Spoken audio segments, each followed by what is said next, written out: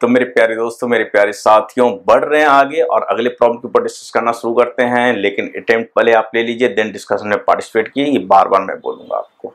Right तो problem ये जो है, एक तरह से कॉस्मोलॉजी से रिलेटेड है। कॉस्मोलॉजी का मतलब हो गया कि बेसिकली हमारे ब्रह्मांड, क्योंकि हमारे यूनिवर्स में कई सारे पार्टिकल्स हमारे अर्थ को स्ट्राइक करते रहते हैं। लाइक जैसे सन से कई सारे चार्ज पार्टिकल्स, सन उगलता रहता है, कई सारे charge particles, electron, alpha particle, protons वगैरह जो हमारे अर्थ के एटमोसफेयर को और या अर्थ को के थ्रू पास ऑन करता है। बट हमारी अर्थ की जो मैग्नेटिक फ़ील्ड है, वो हमारे को उस चार्ज पार्टिकल से प्रोटेक्ट भी करती है, राइट? तो उसी तरह से ये उसी के ऊपर प्रॉब्लम है यहाँ पे।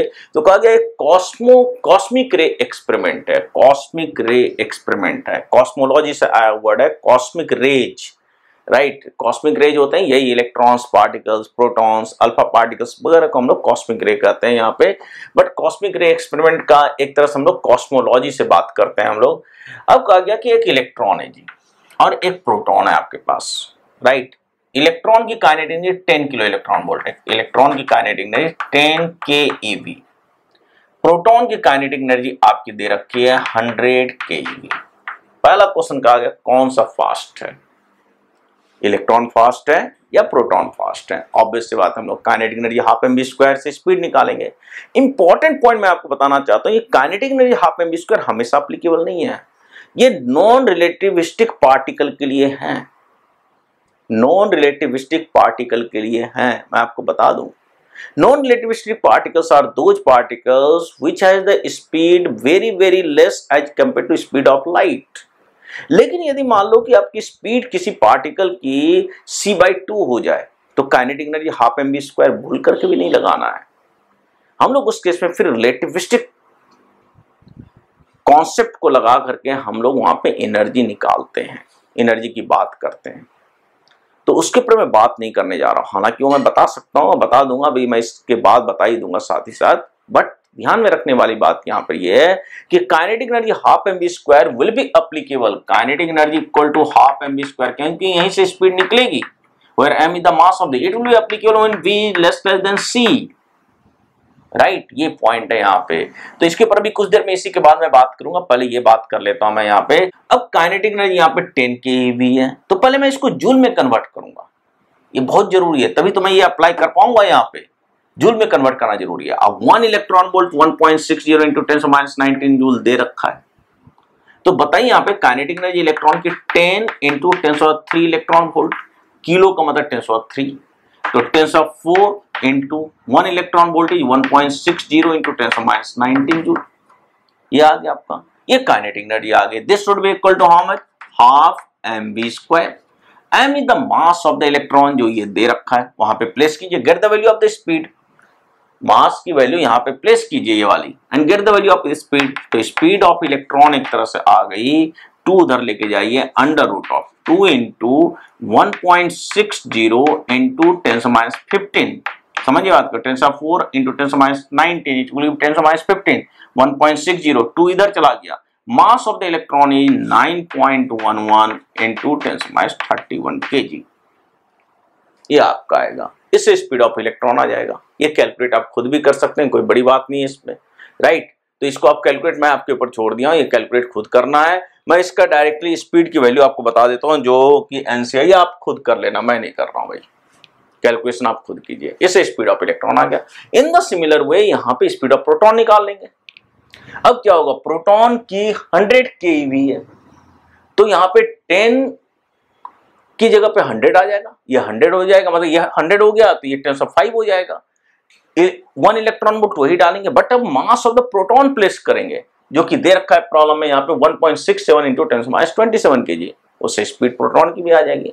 उसको कैलकुलेट करके आप बता देंगे कौन सा स्पीड ज़्यादा है, कौन सा फास्ट आपको पता चल जाएगा। तो ये कैलकुलेशन वगैरह कर लेना आप, मैं तो बता ही दिया हूँ आपको। अब ये करने का दोनों की रेशियो निकालनी है, कि वही कहा गया कि fine the ratio of their speed तो स्पीड का रेशियो निकाल लेंगे हम लोग यहाँ पे। तो इस तरीके से काम कर लेंगे।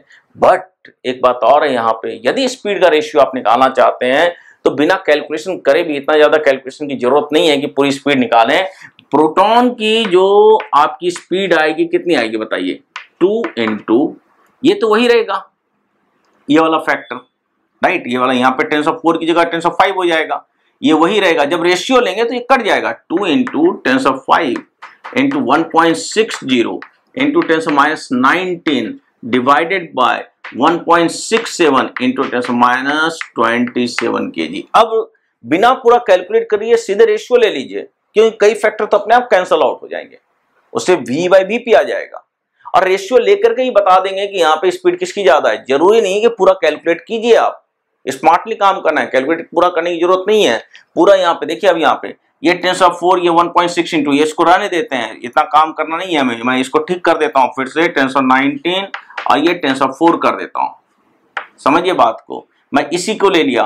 1.60 point six zero into tens minus nineteen, tens of four are two इधर गया, मास ऑफ़ प्रोटॉन इलेक्ट्रॉन लिख दिया। ये प्रोटॉन वाली बात हो गई, क्योंकि इसके हंड्रेड के भी है तो tens of five electron volt होगा। तो ये रह गया बात को। और इससे आप कर लीजिए। एक बात और भी है, आप चाहे तो इलेक्ट्रॉन वोल्ट को कन्वर्ट नहीं कीजिए जूल में, वो भी मैं आपको बता देता हूँ। दोनों का रेशियो ले लीजिए v by v p v by v p यहाँ से ले लीजिए। कई क्वांटिटी क्या हो जाएगा, वहाँ से कैंसल आउट हो जाएगा, क्योंकि जब रेशियो लेंगे तो 1.60 point six zero into tens minus nineteen one point six zero into tens minus nineteen खत्म हो जाएगा।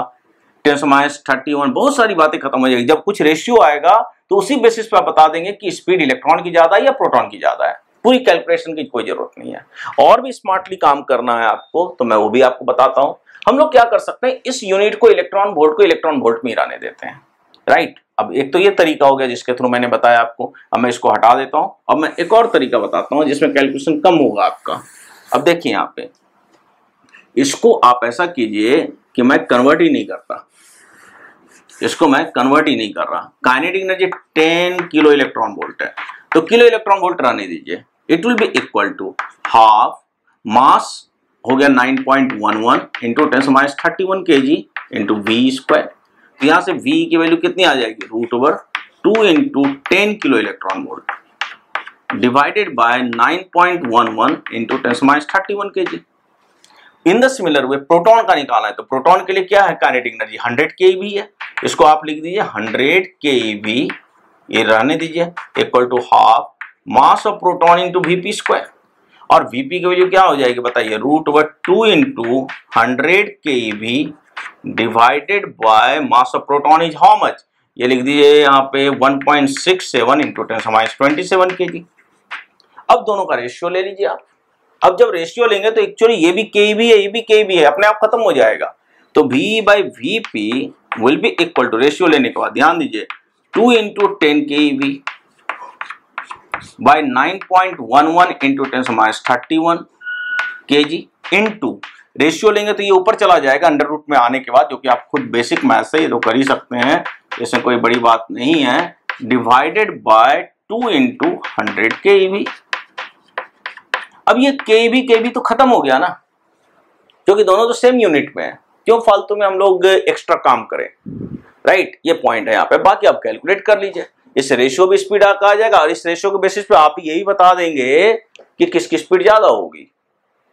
राइट तो यहाँ से आपको बड़े आसानी से पता चल जाएगा। ये टू और ये टू भी कैंसल आउट हो जाएगा। ये टेन और ये टेन भी कैंसल आउट हो जाएगा। राइट तो रह क्या जाएगा? देखिए यहाँ पे बहुत ध्यान देने वाली बात है। ऊपर जाके टेंस ऑफ़ फोर बन जाएगा। मतलब definitely electron v by v p का जो वैल्यू आएगा, एक से काफ़ी ज़्यादा आएगा। यदि v by v p one से ग्रेटर आ रहा है, बहुत ही ज़्यादा ग्रेटर आ रहा है तो definitely speed of electron proton की स्पीड से ज़्यादा होगा। और रेशियो भी रेशियो भी निकल जाएगा।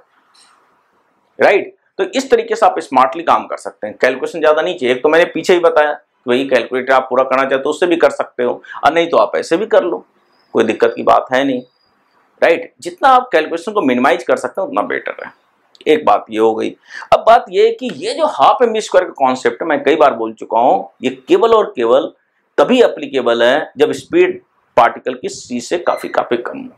अदरवाइज़ सी के रेंज में होगी तो हम लोग कैसे काम करते हैं? ये आपके स्कोप में अभी नहीं है, लेकिन फिर भी मैं आपको बता देता हूँ कि भाई ये जो हम लोग काम करते हैं, वो एक्चुअली क्या है? काइनेटिक एनर्जी हम लोग काम करते हैं m c square minus m naught c square से।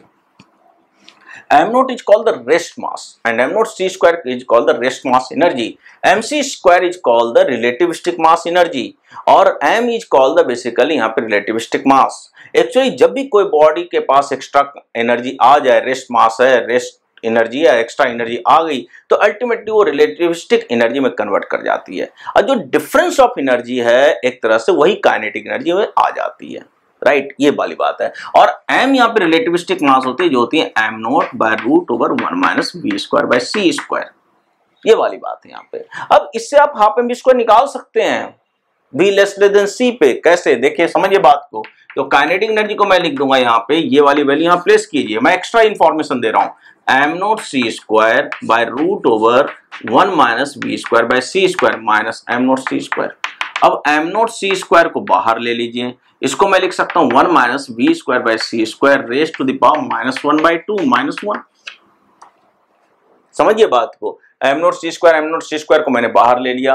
One one upon one minus v square by c square को मैंने सीरीज़ लिख दिया। One minus v square by c square to minus half minus one ऐसे मैं लिख सकता हूँ इसको। अब बाइनोमियल अप्रोक्सीमेशन है। वी लेस यहाँ पे नहीं कर सकते बट कंडीशन यदि बोल दिया कि भाई वी लेसले देन सी है तो one minus v square by c square raise to the power minus one by two is approximately one plus one by two v square by c square binomial approximation के according अब ये value यहाँ place करेंगे we less than सी पे तो one one cancel out हो जाएगा और सी स्क्वायर इस सी स्क्वायर से कैंसिल आउट हो जाएगा तो half m naught v square आ जाएगा। समझिए बात को, ये वाली वैल्यू अब यहाँ प्लेस कीजिए for v less than c के इंफॉर्मेशन अप्रोक्सीमेशन के हिसाब से। तो kinetic energy K will come out m naught c square और ये वैल्यू यहाँ प्लेस करेंगे तो one plus one by two v square by c square minus one one one क्या हो गया? Cancel out right one one क्या हो गया यहाँ पे? Cancel out c square c square cancel out हो गया। It will come out half m half m naught v square ये मैंने एक्स्ट्रा आपको बताया। इसकी यहाँ पे आपके स्कोप पे नहीं है।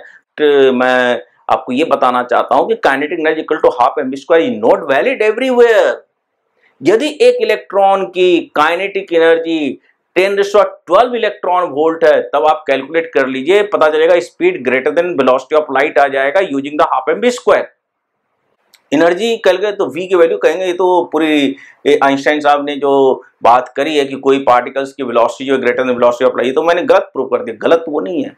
गलत है काइनेटिक एनर्जी का हाफ़ एम स्क्वायर लगाना। राइट तो इस तरीके से मैंने इस प्रॉब्लम के थ्रू बहुत ही एक्स्ट्रा इन्फॉर्मेशन आपको दिया है, जो कि आपको बहुत अच्छे से करना चाहिए। राइट सारी बातों को समझ बूझ करके, और मैंने काफ़ी कुछ आपको बताया इसके अंदर। हालाँकि ये स्कोप के बाहर है बट फिजिक्स है कॉन्सेप्ट हैं, आप समझिए गेन कीजिए अपने फ़िज़िकल कॉन्सेप्ट्स को, और लिमिटेशन समझिए कि कहाँ पे हाफ़ एम स्क्वायर वैलिड है, कहाँ पे नहीं है भाई। राइट तो इस तरीके से डेफिनेटली आप लेक्चर को लाइक कीजिए।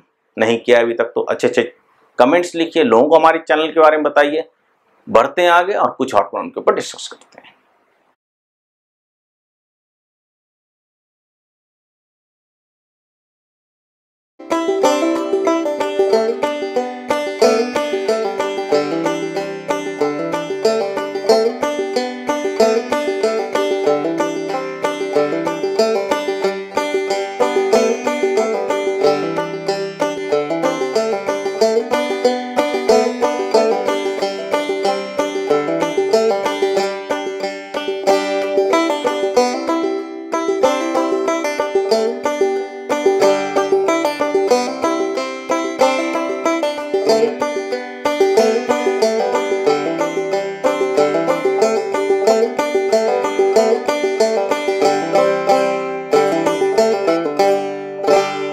जो चैनल है जो आइंस्टाइन क्लासेस का जो चैनल है वो मैं आपको दिखाना चाहता हूँ। देखिए यहाँ पे आप क्या कीजिए कि सर्च बार में जाइए और वहाँ पे आप आइंस्टाइन क्लासेस टाइप कीजिए। जब आइंस्टाइन क्लासेस आप टाइप करेंगे तो, तो उस केस में आपके सामने जो है ये आ गया आपका राइट ये देख रहे हैं आइंस्टाइन क्लासेस इसको आप क्लिक कीजिए। इसको क्लिक करते आप डायरेक्टली जो है हमारे होम पेज पे पहुँच जाएँगे। ये देख रहे हैं आप होम पेज हमारा आइंस्टाइन क्लासेस का। इसमें काफ़ी कुछ आपके लिए है। मटेरियल और आपको सपोर्ट करने के लिए, आपकी पढ़ाई को सपोर्ट करने के लिए, जिसका आप डेफिनेटली यूज़ कीजिए। लाइक जैसे देखिए I T JEE mains and advance physics का आप देख रहे हैं। फिर इसके बाद आप देख सकते हैं मैथ्स का chemistry video lecture how to prepare JEE JEE के लिए। देन इसके बाद आप देख रहे हैं, ये जेई मेन एडवांस के लिए शॉर्ट कर दिए गए हैं। फिर जेई मेन एडवांस के लिए क्वाड्रेटिक क्वेश्चन है। देन मैथ्स का डेफिनेट इंटीग्रेशन है। बहुत सारे लेक्चर्स हैं जो आपके लिए बनाए गए हैं। नीट अब पीएमटी की प्रिपरेशन यदि कोई कर रहा है तो उसका भी हमने वीडियो लेक्चर कई सारे बना रखा है तो उसको आप देख सकते हैं। फिर क्लास ट्वेल्थ के लिए मैथ्स फिजिक्स केमिस्ट्री वगैरह के लिए जो है how to prepare for CBSE ये सारा कुछ है मैट्रिक्स का चैप्टर है, ये सब आप देखिए डिटर्मिनेंट देखिए, कई सारे चैप्टर्स हैं।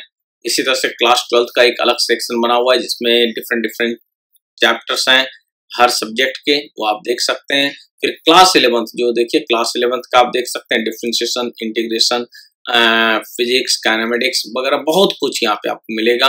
फिर क्लास टेंथ का है कैट एम बी प्रिपरेशन के लिए भी है। इस तरह से आपको कई सारे डिफरेंट डिफरेंट लेवल पे वीडियो लेक्चर्स कई सारे सब्जेक्ट्स को आपको मिल जाएँगे जो कि आपके पढ़ाई के लिए सपोर्ट कर सकता है। तो डेफिनेटली आप इसका यूज़ कीजिए। राइट और दूसरों को बताइए इस चैनल के बारे में, ताकि वो भी उसका बेनिफिट ले सके। Right okay thank you and thank you very much मिलते हैं।